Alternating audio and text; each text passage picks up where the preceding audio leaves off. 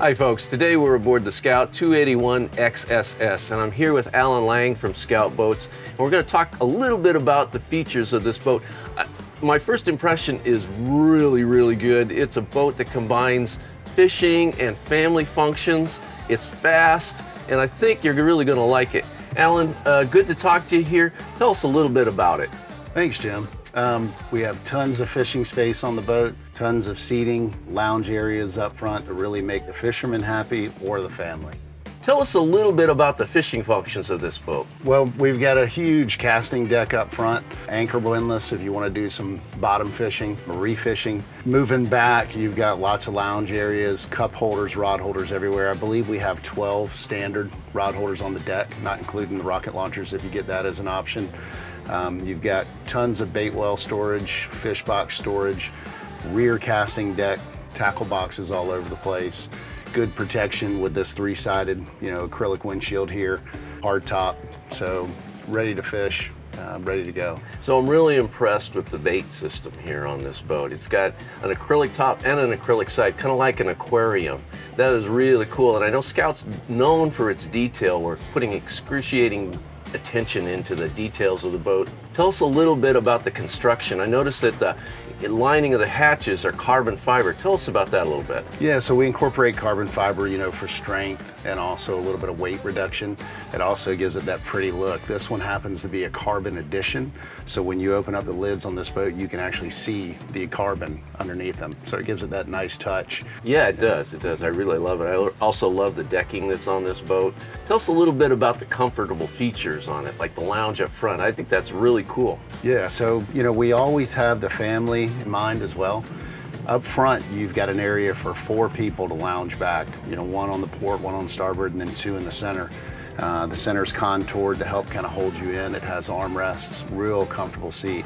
And moving back here at the helm where we're standing, you've got leaning posts that convert into seats, high backs, fold down, you know, seats as well with armrests. And of course, back at the stern, you've got a fold up seat that converts that casting deck into a nice rear bench that's you know, real tall, hits you above the shoulder blades. So it gives you that safety and comfort too. Outstanding. And I noticed there's tons of storage inside the rear casting deck. Tell me a little bit about that. Yep. So we have uh, fish boxes on either side that can also be used as a bait well. Underneath that center backrest, whenever that backrest folds up, the bottom seat comes up. You have two buckets in there that are removable, so you can put anything you want in those. Um, you've got area to store stuff down in the bilge. There's a panel in there that's easily removable if you ever did have to get all the way down in there to work on anything.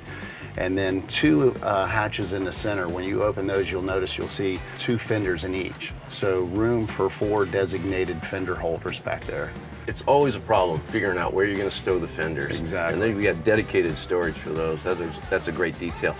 Now, this boat is fast. Tell me a little bit about the performance. So with the Mercury Racing 450 on this boat, it hits about mid 60s.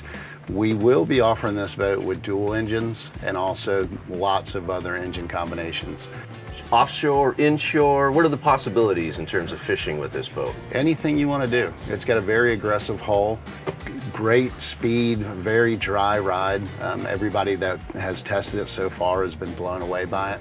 So it's really whatever kind of fishing you want to do or cruising. And it has that scout look too, you know, with the sleek windshield. That's one thing that you'll really notice when you walk up to this boat. You'll see that it has a fiberglass windshield here that also has uh, carbon fiber incorporated into it. So it gives it that real sleek, cool look as well. Well, and it's functional. I mean, you have all that weather protection, you know? Oh, yeah. If it starts to rain or anything, you just tuck up inside here and you're you're super comfortable. Tell us about the electronics available on this boat. So this one we have uh, dual Garmin screens and it, um, it also has a guided user interface.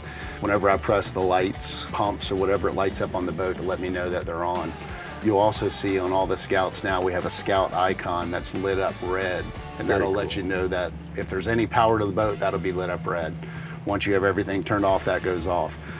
But if you didn't want to do the dual screens, there is room in here for the new Garmin 24-inch uh, screen. You can do the big one in there. We've got flush mount fusion, dual Scanstrut phone chargers, and these things, they, they work great. Lots of options here to work with on this dash.